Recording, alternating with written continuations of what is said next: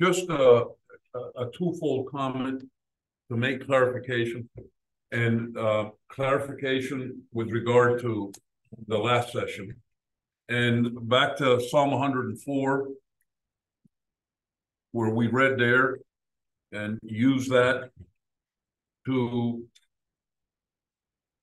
put in our thinking the breath of life and also the the, the spirit and uh, the spirit that is in man and God himself, as we mentioned in Hebrews 12, being the father of spirits.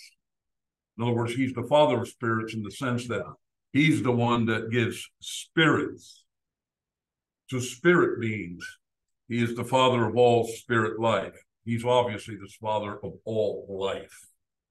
Now, it goes on, and in Psalm 104, verse 29, Thou hidest thy face, they are troubled. Thou takest away their breath, they die and return to their dust. Thou sendest forth thy spirit, they are created, and thou renewest the face of the earth. And then uh, to take that back and make distinction when we come to the flood, and in chapter 7 and verses 21 through 23, you have the effects of the flood. Now, back in chapter 6, which Keith is going to cover or attempt to cover, it tells us that uh, verse 13, and God said unto Noah, The end of all flesh is come before me, for the earth is filled with violence through them, and behold, I will destroy them with the earth. And so we've been thinking about Noah and his connection to the earth. They're not completely separate. And Noah being put in dominion over the earth as God's viceroy, as God's representative, when he when he became flesh, when he sinned and disobeyed against the Creator, the ramifications of that affected the whole earth, all life on earth. And Keith has mentioned that from Romans chapter 8, that the whole of creation has been subjected to vanity. So when we come here Again, in chapter 6, we read in verse 17, and behold, I, even I, do bring a flood of waters upon the earth to destroy all flesh, wherein is the breath of life from under heaven, and everything that is in the earth shall die. It's just important to clarify that only the human being has a spirit. We're, I'm not saying that animals, beasts of the field, have spirit, yet they do have the breath of life. They are beings in whom the breath of life that comes from the Creator is. But only man has spirit. So when we come to um, uh, the effects of the flood. And notice again how it is that God brought this judgment on all flesh. Man became flesh. Man sinned, rejected the Spirit, and in the sense, the judgment is consistent with what man did. You want to be flesh, you don't want spirit, I'll give you what you want. And the waters it was a judgment that drowned them. In other words, it cut off the breath in the nostril. And when it cut off the breath in the nostril, it exposed flesh for what flesh is in its separation from God. When God destroyed Sodom and Gomorrah, he didn't do it with water, did he? He destroyed them with fire. Not here. God didn't use fire. God used water. And God used water because he was going to render a judgment consistent with what the sin was. Have it your way. You want to be flesh? Be flesh. This is what flesh is. So you come into chapter seven, and it tells you the effect of that judgment. And the effects of that judgment is verse 21. And all flesh died that moved upon the earth, both of fowl and of cattle and of beasts and of every creeping thing that creepeth upon the earth and every man, human being, all in whose nostrils was the breath of life of all that was in the dry land died and every living substance was destroyed which was upon the face of the ground, both man and cattle, and the creeping things, and the fowl of the heaven, and they were destroyed from the earth, and Noah only remained alive, and they that were in him with him in the ark. Does that clarify things, uh, Keith? Would you say? So we're not, and I'm not trying to insinuate that all animals have spirit. No, they have the breath of life. And that was given to them by God. But only man had spirit. And God had said in chapter 6, verse 3 My spirit shall not always strive with man, for that he also is flesh. Any questions or comments with regard to that?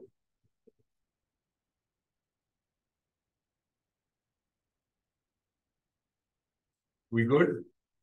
Now, the only other thing that I would say is that you you, you know, and, and I, I I I believe that this will apply to Keith, and you know, not that we've discussed it and so on, but you know, he's here and and he's expounding scripture. I'm here, I'm expounding scripture, but I'm also when I'm expounding scripture, I'm learning and I'm searching. And this is what this study is for. And thank God there's a spirit of redemption here. There's a spirit of the body of Christ here where this is what we do. We provoke one another, don't we? And we exhort one another to study scripture and to learn, and we exchange and we interact. And so there's a safety net here. And the safety net here is that we're amongst brothers in the Lord, we're amongst friends. And there's liberty to stretch our minds and our imaginations as to getting our hands and our minds around the meaning of Scripture. And if in doing so, I happen to uh, go beyond where I should have gone, well, I've got him here, I've got you here, and and uh, to keep me in line. I used to call uh, Randy my safety net, Randy Amos. I miss that brother a lot because he was a very good friend, and we used to talk every week regularly. And the thing about Randy for me was that I would call him up as I would see certain things in scripture, or I would listen to ministry from others and it would trigger certain concepts in scripture. Did I get this right? And sometimes I would even add to it in my mind. And I'm thinking, wait a minute, am I going off the deep end on this one? And I call the brother up and I'd say, hey, what do you think about this? And then uh, he was a safety net. He could always come back to me and he could always challenge me and tell me, you need to be careful here, you need to be careful here, be careful here, be careful. And what a blessing that is, isn't it? We all need that kind of safety net, don't we? But here, thank God, we're amongst brothers in the Lord. And thank God we have the liberty to ask questions, questions that, you know, I mean, I, you don't have to worry about asking a stupid question. You don't have to worry about asking a wrong question. Uh, we have respect for the Word of God. We have carefulness in how we handle the Word of God, but we're all in this wondrous journey together of growing in the grace and knowledge of the one in whom are hid all the treasures of wisdom and knowledge. Amen. Amen. Yes. yes, sir question. Is there any difference between soul and spirit? That Keith is going to answer that.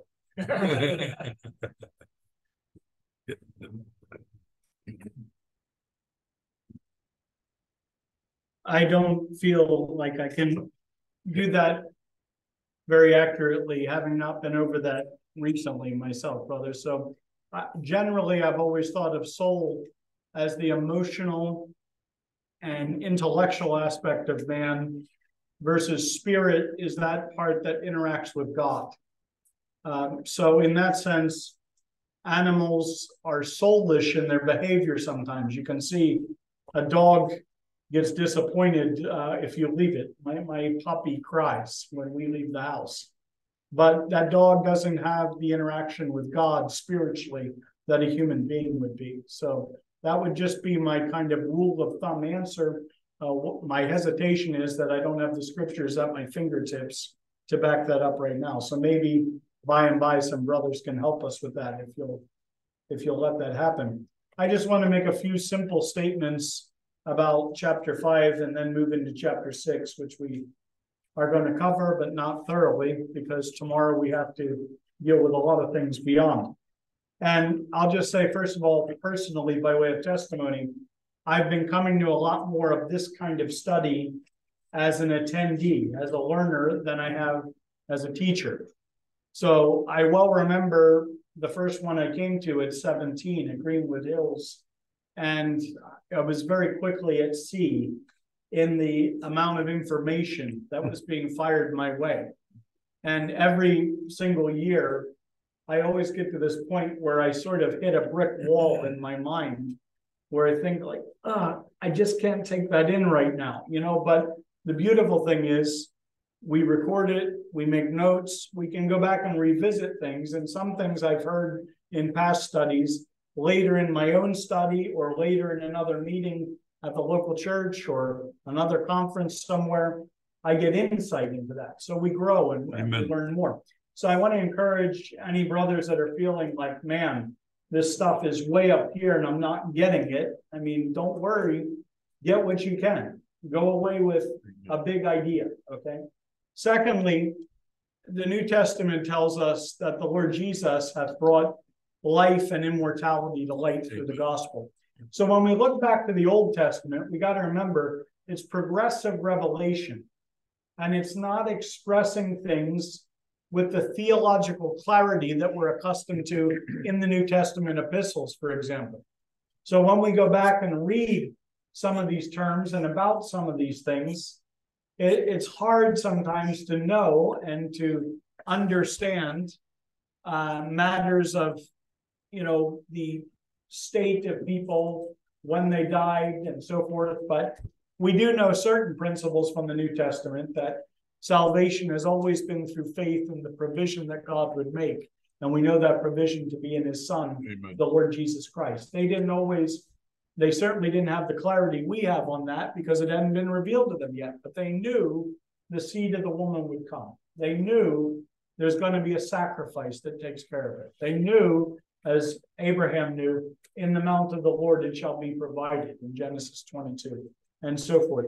So just remember that when you're looking at the Old Testament, read it through the lens of the New Testament and build your doctrine around the New Testament. I stress that because there are a lot of cults that go back to the Old Testament and they cherry pick different scriptures and they start teaching things like there's no immortality of the soul. So when you die, if you don't know the Lord, you're just annihilated. Or they start teaching universalism, where everybody's ultimately going to be saved. Or they start teaching other things that are very fanciful. Go to the bedrock of the crystal clear statements of the New Testament, and then go back to the Old Testament to see that illustrated. I just throw that, that out there absolutely as good principles as we study the Word of God. Now, just some simple things about Enoch that I've enjoyed and appreciated, and nothing's original and you've doubtless seen these before, so I just want to remind you. But what's stressed about Enoch and what was different about him is, of course, as Henry has pointed out, that he did not die. In a genealogy where and he died recurs throughout before and after. Enoch is the exception. He doesn't die. He was not, for God took him. And uh, the same language is used in Hebrews 11, verse 5, talking about him, although it's quoting from the Old Testament Greek translation, the Septuagint. And it's interesting that there, Hebrews 11 points out to us before he was translated, he had this testimony that he pleased God. And you read it here in our English Bibles in verses, uh, verse 22, for example. After he begot Methuselah, Enoch walked with God 300 years and had sons and daughters. So all the days of Enoch were 365 years, and Enoch walked with God, and he was not, for God took him. Now, you don't see Enoch pleased God anywhere there because this is a translation in English of the Hebrew scriptures, which were the original scriptures. God gave Genesis in Hebrew. And that's what Moses wrote it down in. But when the Jews, many years after Moses, in the intertestamental period, came to translate the Hebrew scriptures into Greek, because like us, they wanted people to understand the word of God in their own language. They wanted people to get it. A lot of missionaries that do this sort of work refer to it as their heart language. They translate it this way Enoch had this testimony, or it, rather, they'd say, Enoch pleased God or actually Enoch was well pleasing to God. Some translate it that way. So I look at this and I say, ah, this is something mathematical, math for a history major. I was a history major, and history majors aren't known, there are exceptions, but we aren't known to be good at math. And I'm certainly part of the general mass of people who like history that I'm not fond of math. But I can get this. If you look on a piece of paper and you said, 2 plus 2 equals 4. You realize what's to the left and the right of that equal sign are, of course, equivalent. They're two different ways of expressing the same thing.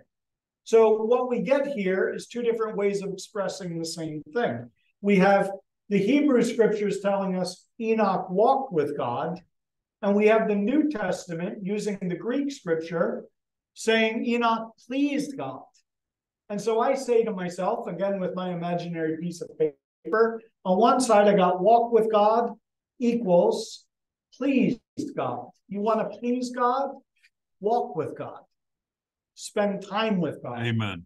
After all, the last time we saw God walking in Genesis was chapter three, when he comes walking in the cool of the day. And he's not able to have the interaction he wants to have with human beings because they're now separated. It's a good way when we talk about death and spiritual death and physical death, or even the second death, think of the word separation. Physical death is when your soul and spirit are separated from your body.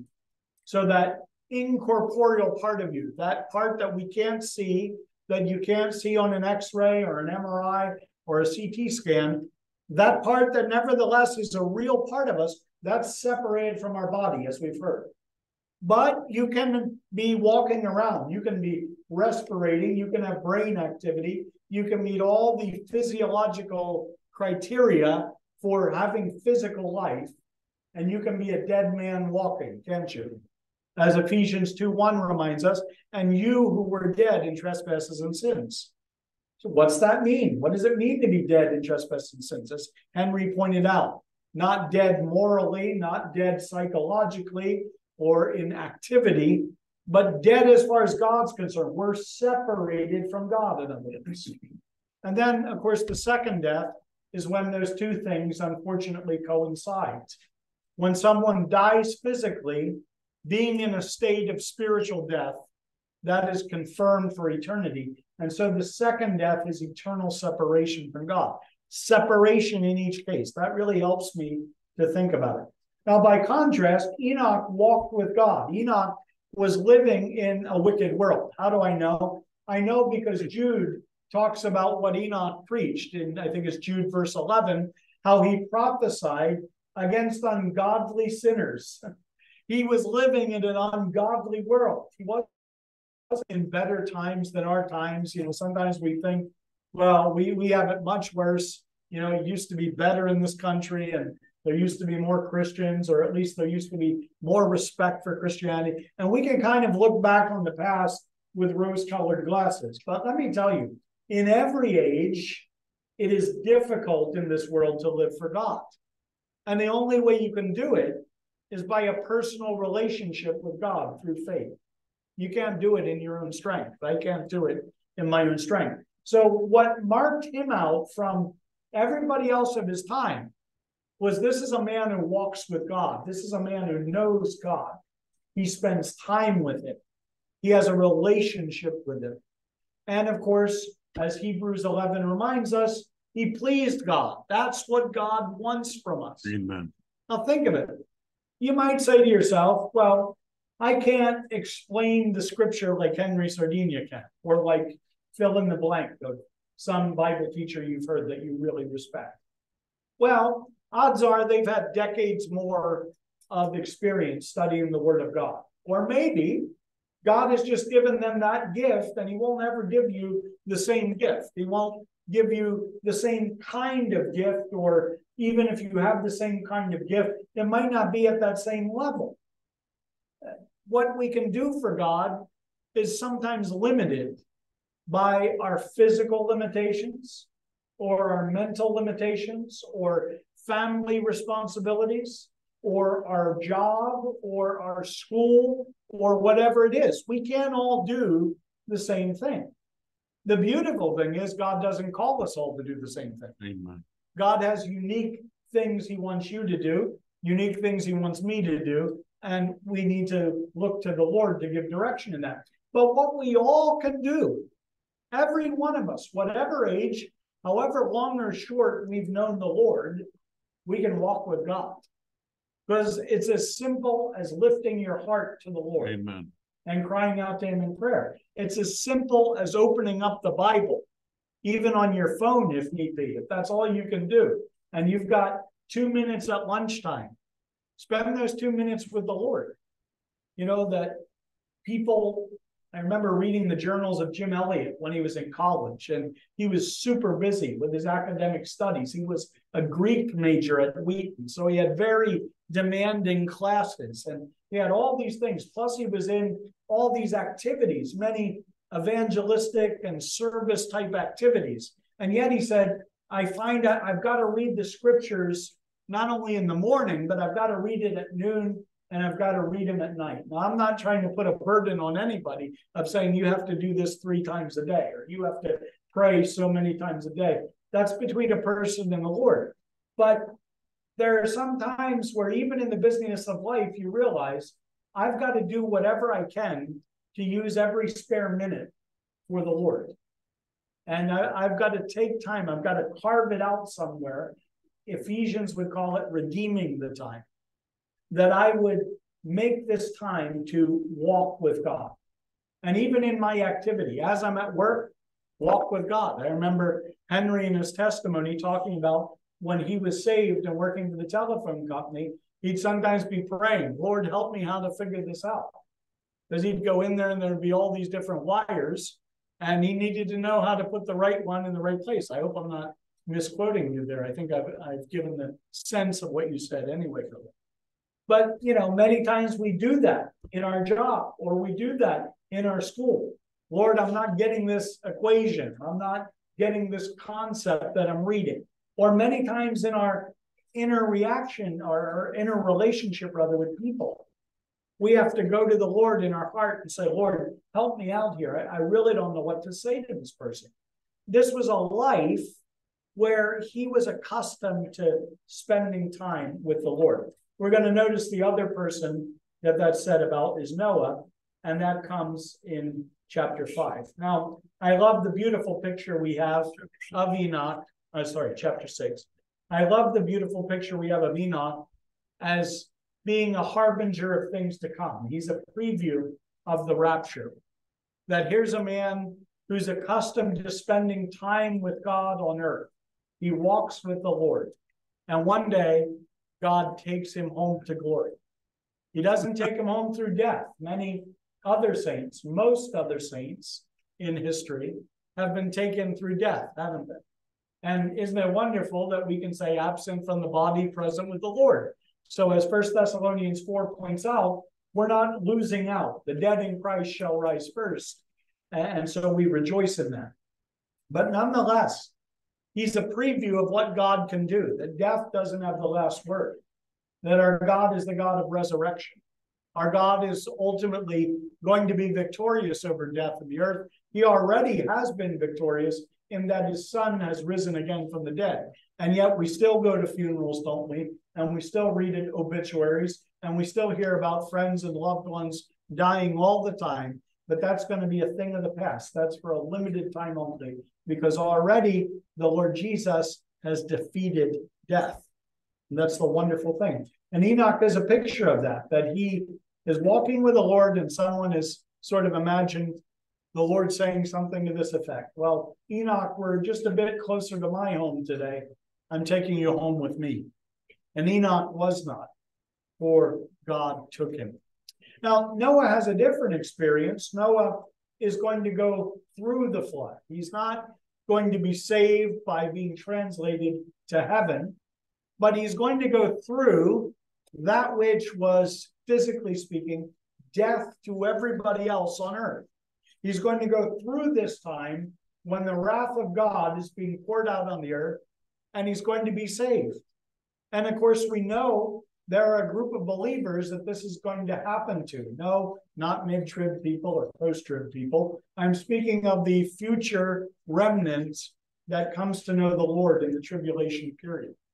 And there will be many people in Israel that will come to know Jesus is their Messiah. They will come to hail him as Lord and worship him and proclaim his gospel. And yes, some will be martyred by that, but Zechariah 12 and following tells us that that nation is going to turn to the Lord and the Lord is going to come and deliver them through this time period of wrath. He will shelter them and ultimately deliver them to the kingdom that he establishes on earth when our Lord Jesus comes at his second coming to earth to sit on the throne of David. So don't get confused here. Enoch, we think about the rapture for the church. That's in the air, First Thessalonians 4 says. When we talk about the remnant of Israel and the future tribulation, that's the Lord coming back to the earth, to the Mount of Olives, and physically defending the nation as well as spiritually restoring them and taking them into the kingdom. But many of the prophets uh, would indicate that many peoples shall be added to the Lord in that day. Zechariah 2 says that, for example. And that tells us that not only are Jews going to be saved and put their trust in the Lord Jesus, but also many Gentiles are going to be saved. Now, I realize in their zeal to see people come to Christ right now, because people do need to deal with the truth they hear, right? They they shouldn't put it off. Sometimes gospel preachers make it sound like nobody's getting saved in the tribulation. And I tell you, hearing the gospel in this dispensation is no guarantee that we'll have any other opportunity if we're around for the next dispensation. Today is the day of salvation. Now is the time to come to the Lord. So that's very true.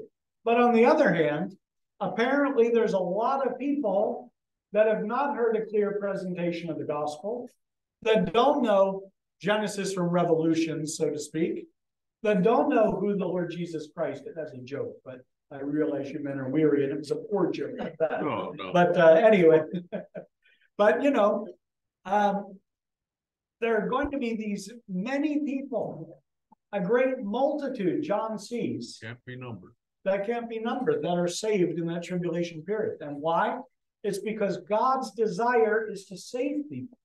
And God's going to keep saving people right on through and into and including the millennium. Now, as I understand it, the millennium starts out with believers, with the sheep going into that kingdom, as it were. But their children aren't all going to be believers. They're going to have to believe for themselves, aren't they?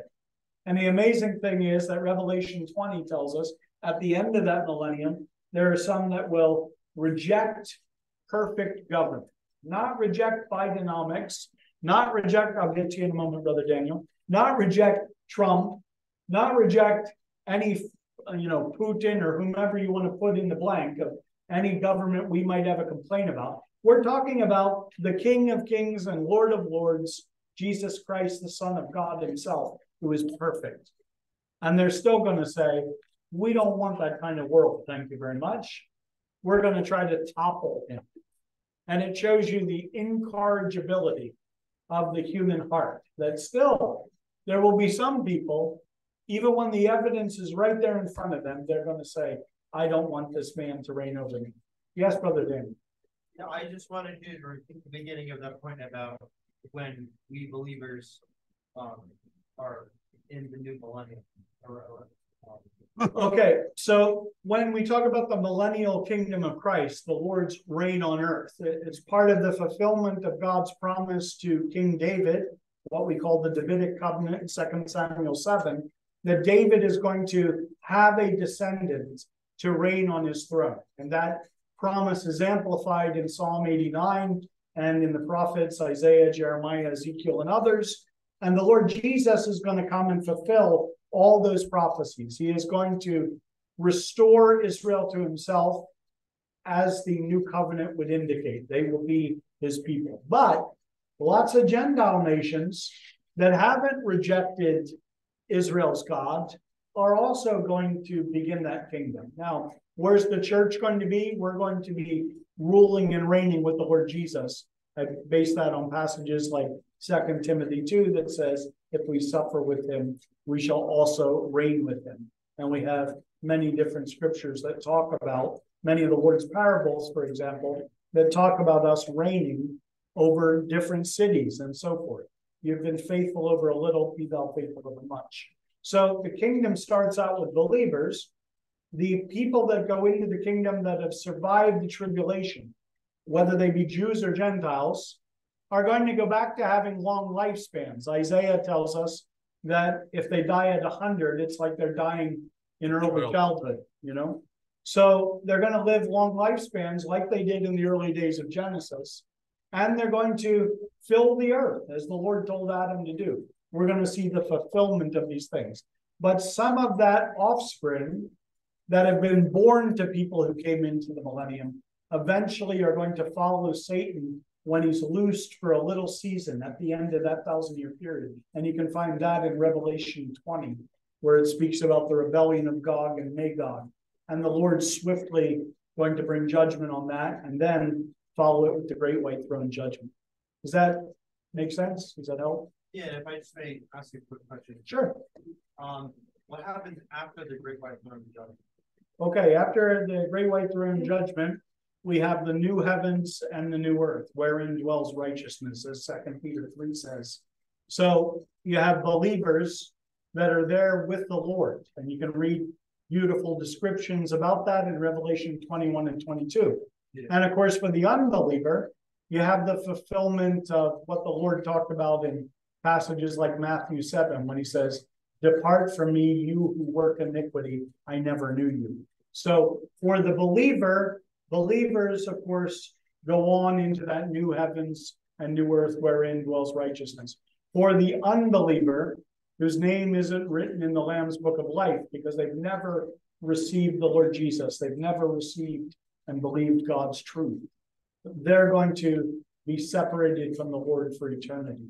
And the Lord Jesus described that in many passages as being cast into outer darkness or uh, being sent to the lake of fire is ultimately what Revelation is going to call it. Yeah, because I've, I've definitely read Revelation, or at the very least, the end of Revelation many times. Mhm. And, you know, me being human and not knowing too many too much information, wanting to know, try to think of like, well, dang, well. What is this new heaven and new earth really like? Like, how could it be compared to maybe our lives now or mm-hmm. Genesis? Yeah. And it obviously it does give descriptions, but of course, there's still a lot to be learned in that debate. Probably, we already know for good reason. Yeah. The best thing about it is the Lord is there. Okay. And, and that's the wonderful thing that we're gonna, as uh, hymn says, we're gonna love the Lord with unsinning heart. So to have no distraction and no impediment to full enjoyment of the Lord and continue learning from the Lord, serving the Lord, um, you know, operating in his government, which Isaiah 9 says, of the increase of his government of peace, there shall be no end. So the ramifications of this are just expanding through eternity. We will never be bored with the Lord. Right. I heard a missionary give a very good example about uh, someone he worked with in South America. He said this brother did a lot of work in the jungles among very primitive people that didn't know anything, they had never seen modernity, never been out to a town or a city. And so they were asking him what his homeland was like, and he was from Australia. And so he's thinking, how do I explain electricity? And so he says, uh, you know, in my homeland, at the time where you're sitting around the campfire now, you know, at nighttime, basically, he says, we can make it bright as noonday. And the people said, oh, there must be no night in his country. Or in that part of the jungle, to travel anywhere, they have very windy, circuitous rivers and streams, and the jungle canopy so thick you can't walk through it. You got to go in a canoe, and it can take you days just to go a few miles. And he said, you know, basically, this village here to go to this other village that was probably the farthest one away they knew. He said, we can do that in less than a day, you know, trying to describe the travel abilities that we have with cars and trains and planes. And they said, well, in his world, there must not be any distance. You know, and on it went. He had to describe his world by things that weren't there. So when you come to Revelation 21, for example, we're told that there's no more crying, there's no more pain, there's no more death, there's no more darkness, and you don't even need the sun and the moon because the Lord God and the Lamb are the light thereof. So, as somebody has said, we're told a lot more about what isn't in the new heavens and the new earth than about what is, because we simply can't comprehend the beauty of it and all of what it's going to be like. And yet, we know it's going to be fantastic because A, the Lord is there, and B, all the stuff we hate that's been painful and bad for us that's not there. So it's definitely something to make us anticipate it with great eagerness.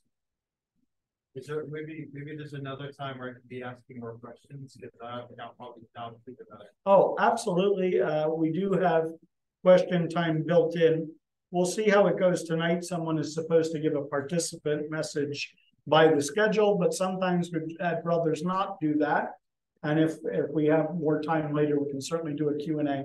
And uh, Henry and I are always around to talk, and I know many of the brothers are around to talk about these things further. So feel free, brother. Please don't be afraid to ask questions, and uh, we want to make ourselves available for that. So let us know if we're progressing and there's too many questions and too little time. We'll try to budget more time for that. Now, just if I may return to chapter six quickly, because uh, I don't want to transgress on schedule too much. But Henry's already told us about the beginning of Genesis 6, of this incursion that we have into humanity, and how it seems to be that when we're talking about the sons of God, that these are spirit beings, these are what we might think of elsewhere in the Bible as demons that are coming and are having relations with the daughters of men. Now, it's often been said that the Lord says to the Sadducees, for example, in Matthew 22, that they didn't understand really what heaven was like because he said in heaven they neither marry nor are given in marriage, but are like the angels of God in heaven. And yet, the key phrase there is that prepositional phrase in heaven. It doesn't mean that angels at any point in the history couldn't come into the earth and do certain things physically. Okay. Now, I'm not saying they do this today, but this seems to be a unique time period in history when they did this. And I do believe that those passages in First Peter 3 and Second Peter 2 that refer to the spirits that are kept in chains of darkness, and Jude would also refer to this, probably refers to this time. That's an inference, not a thus saith the Lord. But uh, certainly there are things that have happened in the spirit world that have ongoing repercussions and they don't happen again. Like Satan fell, that's not going to happen again. That's kind of an unrepeatable event. And there were many beings that obviously fell with him or followed the same pathway, because we have the Lord Jesus when he comes to earth in his ministry, meeting many of these unclean spirits or demons, as the New Testament calls them. So it seems to be a satanic incursion, again, to spoil humanity. And when you think of the Lord promising through the seed of the woman to crush the serpent's head, if we could mess up humanity and use the woman to corrupt the human genome or something like that, maybe this can alter the plan. I don't know if that is really what they were thinking, but for whatever reason, there's this incursion, and the result is uh, very evident in chapter six because we read not only of those mighty men that Henry referred to, these heroes that maybe are the basis of some of the legendary figures. Like, yeah. how do you come up with an idea of Hercules? You know, and all the challenges that Hercules had to do. Well, I'm not saying everything in Hercules actually happened. Uh, Michael Bolton had a great theme song, but um, no, I'm just kidding. Different, different treatment of Hercules. But anyway, people just aren't up on 90s culture. But anyway, I'm getting old. That's the problem. Uh, but you know, you look back to the Greco-Roman heroes and the things they supposedly did, and you can kind of hear echoes of what maybe some of these early people did. But again, what they undoubtedly would have thought of as progress, because after all, if I suddenly am bigger and stronger than the other human beings around me, or I'm faster, or I'm brighter, uh, human beings would say, well, that's great. We're evolving, right? We're progressing upward. But even in modern history, we've seen people with great natural gifts totally pervert those gifts and put themselves into the hands of Satan, really, to influence multitudes to do evil. And you'll have only to watch a little old footage of Adolf Hitler giving a speech to see that kind of thing. You know, Leni Riefenstahl filming these rallies that they would have in the stadiums in Nuremberg and places like that. And all the people that were shouting and screaming and loved him. Now, not everybody there loved not everybody was going along with it. Not everybody, even people that didn't violently oppose him, not everybody was sitting around saying, oh, this is terrific, any more than everybody is sitting around approving of our current administration or the previous one or the one previous to that or whatever. You know, people could be in disagreement, but there's no doubt millions of people were transfixed. And not only by him, people were transfixed by Mussolini in Italy, they were transfixed by Stalin in the Soviet Union. In a way, they were transfixed by FDR in the United States. And not everything that our country did in that time period was righteous either. So, you know, we can see people with tremendous abilities, and yet it's used for wickedness. And we see that in 6 verse 5. Then the Lord saw that the wickedness of man was great in the earth. Now, the word saw there one uh, Jewish scholar points out that this wasn't just a glimpse. This word entails careful observation, and that God acts out of carefully observing what, what goes on. Later in chapter 11, we'll see God says, Come, let's go down to see the tower that they begin to build. God doesn't judge without having the facts. There's always a thorough investigation and of course, it's a perfect investigation. He has all the information. There's nothing that is suppressed or hidden from his eyes. He knows what's going on and he sees that the wickedness of man was great in the earth and that every intent of the thoughts of his heart was only evil continually. The word intent was a word used of God earlier in the book about things that God fashioned, about an idea that God had to create in his mind that great creativity of God. And what does God create? God creates things that are good, things that are for our benefit. And yet, this is the opposite.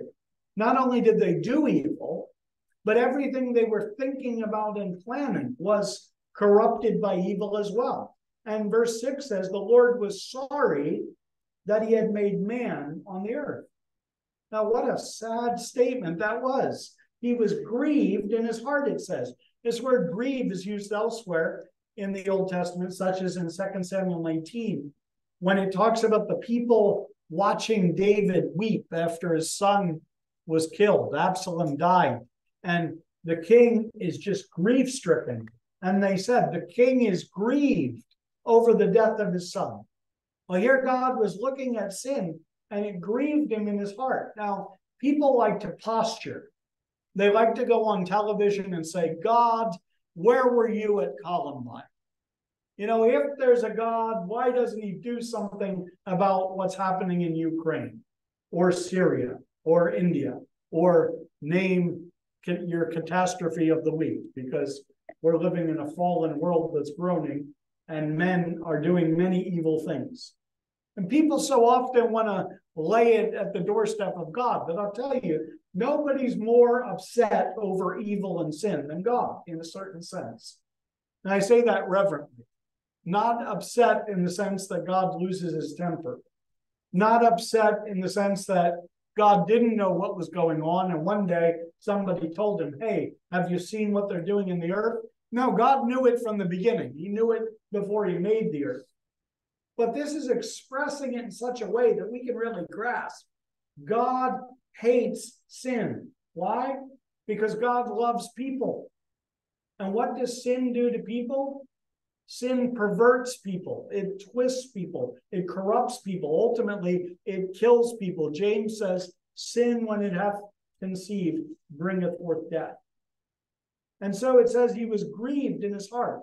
So the Lord said, I will destroy man, whom I have created from the face of the earth, both man and beast, creeping thing, and birds of the air, for I'm sorry that I have made them.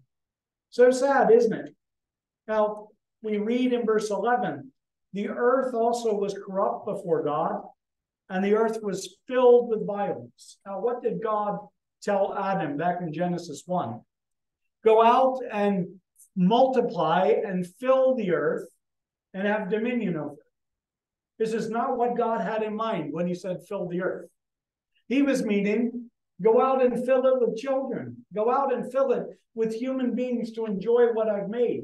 Go out and fill it with people that will develop all the incipient potential of this planet, that will take what I've put in seed form, so to speak, and will cultivate it and guard it and tend it for my glory. And instead, what does mankind do? They corrupt the earth and they fill it with violence. And you might say, well, it's all doom and gloom, isn't it? It's all judgment. And God makes this pronouncement of judgment that he's going to destroy because he says, For I'm sorry that I've made them in verse 7. But I love verse 8. But Noah found grace Amen. in the eyes of the Lord. And there was a dear brother who was most helpful to me when I was in my teenage years in teaching me the Holy Scriptures. And he used to tell me over and over, and it's never left me, that in every age, no matter how bleak it seems, no matter how dark it becomes, no matter how rampant the evil, God always has a remnant. God is never utterly defeated. The light is never completely extinguished. He has a remnant. And here, that remnant's found in Noah and is found. And we read in verse 9 about the generations of Noah. He's described as a just man, perfect in his generations. Now, that doesn't mean this was a man who was sinlessly perfect, as we'd say it. He wasn't a man who never fell or never sinned. All have sinned and fall short of the glory of God. Romans 3:23 tells us the one notable exception to that being God manifest in the flesh, the Lord Jesus Christ, the incarnate Son of God. But when we say he was a just man, here was a man that cared about God's righteousness. And here was a man who wanted to be right with God and then wanted to act rightly toward his fellow man in knowing his God. And God described him as perfect in his generations. Uh, a lot of the scholars use words like blameless, or they speak about his integrity. That here's a man who, while he did sin, like everybody sins, he did fail sometimes. The trajectory of his life was Godward. His eyes were toward the Lord. He was seeking first the kingdom of God and his righteousness, as the Lord would tell us to do in Matthew 6. He was trusting in the Lord. and not leaning to his own understanding, like we quoted Proverbs 3, 5, and 6 earlier this study. And he was walking with God. Noah walked with God, it says. So, like Enoch, the most important thing in Noah's life was his relationship with God. Now, I don't know what epitaph you might have for your tombstone if you die before the Lord comes, but it's hard to improve on a just man of integrity who walked with God. That's pretty good. and why was he a just man of integrity? Well, because he found grace in the eyes of the Lord. It started with the grace of God. It started with the salvation that God gave him. And how did that salvation come to Noah? Hebrews 11 tells us by faith, Noah, being warned of things not as yet seen, built an ark to the saving of his household. But Hebrews 11 gives us the other side, doesn't it? Not only did he save his household, but he condemned the world. And that's what the gospel does, doesn't it? On the one hand, it provides hope, it provides deliverance, it provides a rescue from the wrath that's coming. But on the other hand, it says there is the wrath of God. There is the righteous punishment of God. His justice is going to be done on the earth, and evil is not going to prevail. It's going to be stamped out by God. But God chooses this man and his family, and Noah looks to the Lord by faith and begins to build this ark at God's instruction. Now, verse 13 says, God said to Noah, The end of all flesh has come before me, for the earth is filled with violence through them. And behold, I'll destroy them with the earth. And so he tells him to make an ark of gopher wood. And interestingly, not only says make rooms in the ark, but he says cover it inside and outside with pitch. Cover is a verb that's going to appear a lot in the Old Testament, specifically in the sense of atonement. And this ark that he's building is going to be a picture of atonement, a picture of how God saves people through judgment. That because they're in the ark, the judgment comes against the ark, and the ark bears it for them and bears them through to safety. And as many a gospel preacher knows, you probably preached the gospel from it yourself. It's a lovely picture of the Lord Jesus Christ, isn't it? That's why the New Testament so often tells us about being in Christ. Amen. In Christ. Amen. In Christ. It's that position before God of our being in Christ that delivers us from the wrath to come. That promises we shall never be lost and we shall never suffer the wrath of God. But when we think about God calling Noah, it's interesting how you might sometimes sit around here and say, now, this is all very old and arcane. And what does this antiquated story have to do with us anyway? I mean, we live in 2023. Isn't this a lot of just old, very ancient stuff? Even if it happened, what's it have to do with me? And yet, the Lord is going to continue to refer back to Noah throughout the scriptures. So, for instance, in Isaiah 54, he will refer to the no- waters of Noah that come softly, and he will apply that to the saving work he's doing in Israel in their day. Or in Ezekiel, when Ezekiel wants to tell them how bad things have gotten in Israel, he says, even if Job or Noah or Daniel were here, they would only deliver themselves by their righteousness. And then we come to the New Testament, and Henry's already quoted it, that the Lord Jesus, both in the Olivet Discourse in Matthew 24 and also in the Gospel according to Luke, the Lord Jesus is going to refer back to the days of Noah, and he's going to compare that to the last days. And whereas Genesis emphasizes corruption and violence and departing from God's ways and from the standards he has set and trying to reinvent what life is. When the Lord Jesus talks about it, it's interesting. It's very banal, as Henry was describing. It's not the wicked things as much as the commonplace things, the everyday things. They were marrying and giving in marriage. They were eating and drinking. They're going about all the quotidian activities of humanity, the things we do every day. And they're doing that as if it's never going to end, as if God doesn't signify, as if He hasn't said to be ready because this world is passing away and the lust thereof and the judgment's coming. And they act as if it never will. And one day they're overtaken with the judgment, therefore. And not just in the Gospels, but also in First Peter and in Second Peter. We're also going to have Noah and the flood referred to. And uh, it's just something that God keeps coming back to to remind us of these first principles that we've got to be ready, that the corruption and the violence and even the living life as if there's no God. We may not be a theoretical or philosophical atheist, but many people live like practical atheists.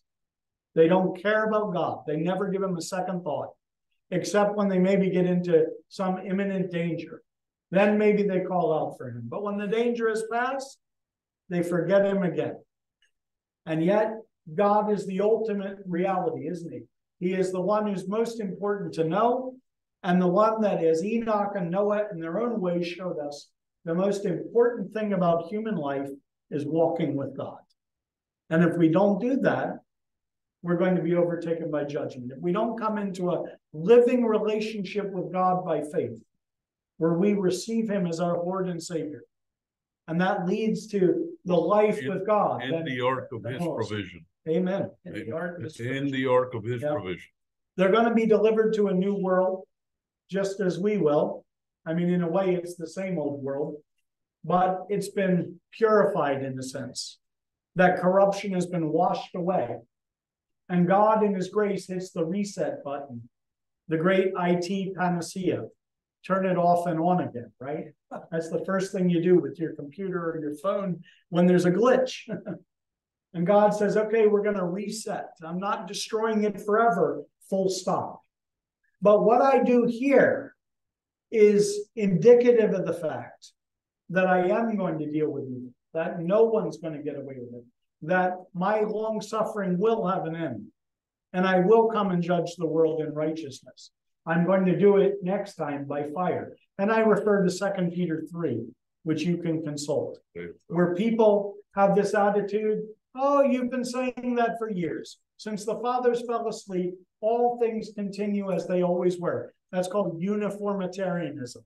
That things are just uniformly the same in history. And it's all continuing. And you've been saying the judgment's coming and the end is near for years. And we don't think it's ever going to happen because God doesn't intervene in human history. And yet Peter says this they're willingly ignorant of. They choose not to remember, as Freud would put it, that God once did intervene in history by a flood and destroyed the world, and that water's still here. And the only reason the land is standing out from the water is because of God's word, because God said that it should be.